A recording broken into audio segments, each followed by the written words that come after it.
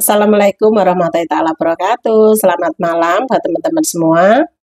Terima kasih dan meluangkan waktunya membentuk channel kami. Oke lah teman-teman, hari ini saya ingin menyiapkan menu malam. Simple ya teman-teman, masak timun daging sapi ya. Oke, ini saya pakai dua buah timun. Dua, dua buah timun. Daging sapi kita iris tipis. Bawang putih, bawang merah, cabai rawit, dan jahe. Dan sekarang kita marinate daging sapinya terlebih dahulu. Bismillahirrahmanirrahim. Sedikit roiko. Gula putih, ini saya pakai brown sugar ya. Minyak wijen, satu lada bubuk.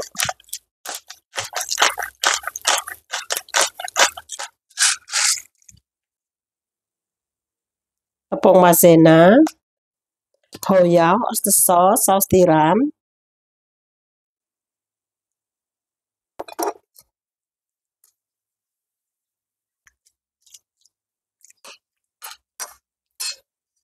dan potong timunnya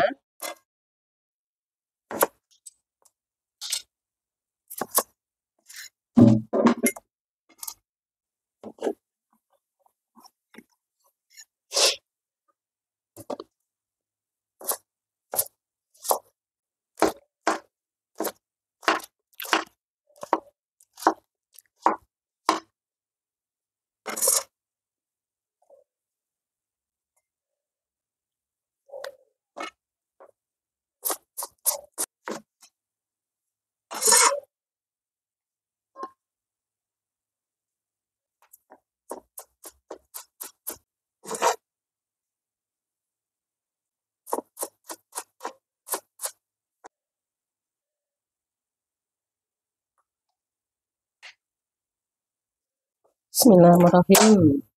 Oke, kita masak.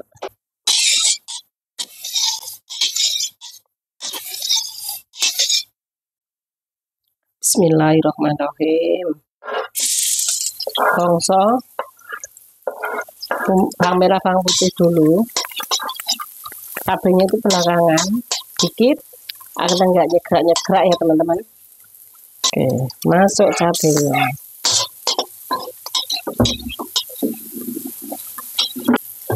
Dan masukkan sekarang masak daging sapinya. Masuk daging sapi kita masak sebentar aja. Daging sapi itu tidak perlu lama-lama ya teman-teman. Masukkan timun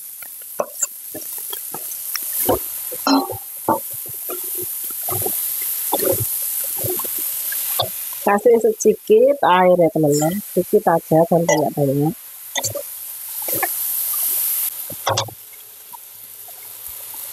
Sedikit oyster sauce. Roiko sejumput gula.